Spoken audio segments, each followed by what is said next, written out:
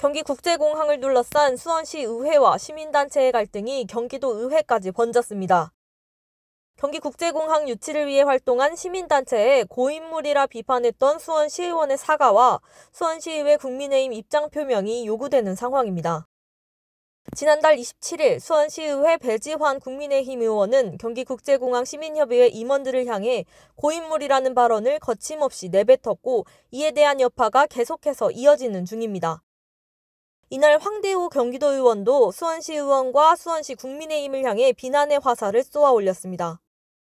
황 의원은 국민의힘이 경기국제공항 추진에 대한 의지가 있는지 모르겠다며 막말, 억측, 궤변은 정치의 본질이 아니다라고 지적했습니다.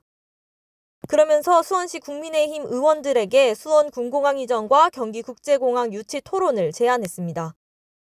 지난해 수원시의회 국민의힘이 공항 건설 관련 용역을 전액 삭감하며 수원 군공항 이전을 역전 사업으로 내건 수원시와 입장을 달리한 만큼 명확한 입장 표명이 필요한 시점입니다.